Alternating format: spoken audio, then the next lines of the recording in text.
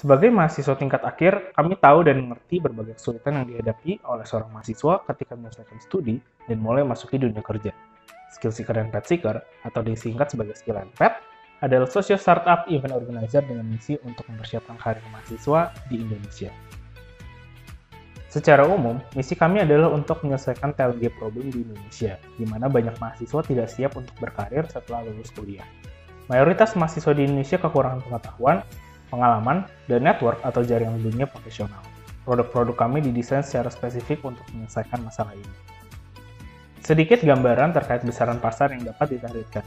Berdasarkan data dari BPS, kami mendapatkan bahwa ada lebih dari 2 juta mahasiswa setiap tahun angkatan.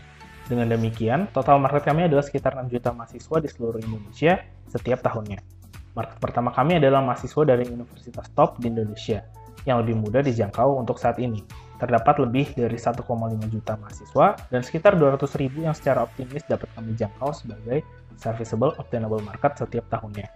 Dengan angka tersebut, berdasarkan estimasi kami terhadap budget pengembangan diri mahasiswa senilai Rp50.000 setiap bulannya, akan menghasilkan angka potensi market size senilai 90 hingga 100 miliar rupiah setiap tahunnya. Dimulai sejak awal tahun 2021, kami memiliki beberapa produk utama yang seluruhnya memiliki partner yang sama, yaitu profesional sebagai speaker atau mentor dalam acara yang kami adakan. Sebagai startup event organizer, produk utama kami adalah workshop dan webinar yang memiliki format masif online open course secara live, yang biasanya kami adakan pada akhir pekan. Sebagai sosio startup yang mengedepankan impact, seluruh workshop dan webinar kami bersifat gratis untuk diikuti. Selain itu, kami juga menyediakan produk B2B untuk mengadakan acara bagi organisasi atau usaha kecil menengah yang membutuhkan training. Produk kedua yang kami luncurkan adalah mentoring program yang bersifat one-on-one atau group mentoring. Kami mengundang profesional dari dunia kerja untuk menjadi mentor yang membagikan pengalaman mereka sesuai dengan tema program yang kami adakan. Siapa pun dapat mendaftarkan diri secara gratis tetapi harus mengikuti proses seleksi untuk mendapatkan slot menjadi seorang peserta mentoring. Pada awal tahun depan, atau setelah genap satu tahun kami berjalan, kami akan menambah lini produk berupa kompetisi bisnis untuk mahasiswa. Produk ini akan berfungsi sebagai sumber profit untuk mendukung perkembangan skill and path ke depannya. Dengan produk berupa acara-acara gratis, kami dapat mengakumulasi jumlah followers yang sangat cepat di Instagram dan LinkedIn.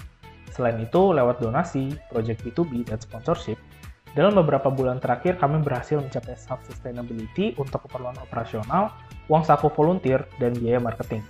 Fokus utama kami adalah bermain pada jumlah acara dan peserta yang banyak, sehingga memberikan impact yang luas dan meningkatkan nilai donasi yang didapat dari setiap acara.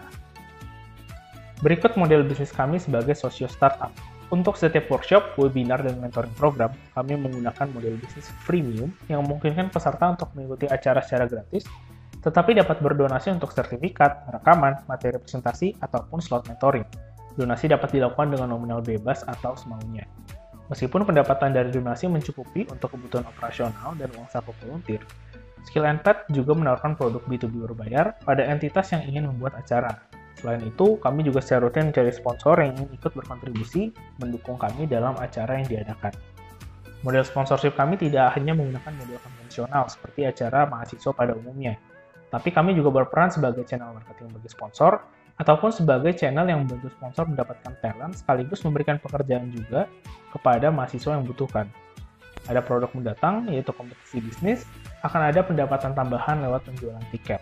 Untuk mengikuti tren saat ini, ke depannya kami juga akan menjadi social startup yang mengolah data dan analitik untuk berbagai kebutuhan. Secara umum, teknik pemasaran kami dibagi menjadi tiga, Pertama, kami menggunakan sistem viralitas dan referral untuk mendapatkan peserta dengan mewajibkan pendaftar follow media sosial, membagikan poster acara story, dan tag teman mereka. Kami berhasil meningkatkan followers media sosial secara signifikan dengan cara ini.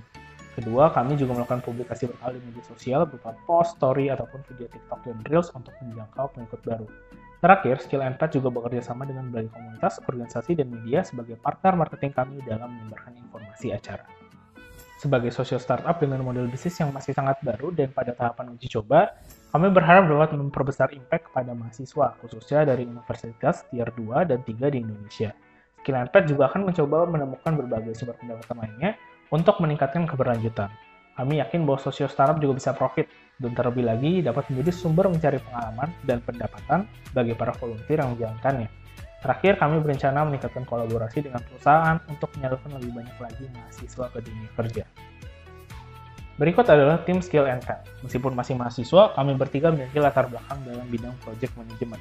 Selain itu, kami juga memiliki network yang cukup luas dalam dunia profesional, sehingga dapat mengembangkan produk-produk Skill and Pet dengan maksimal. Demikianlah presentasi tentang model bisnis Skill and Pet untuk kebutuhan tahap final BMC Competition Nemo IPB. Jangan lupa ikuti kami di media sosial ya.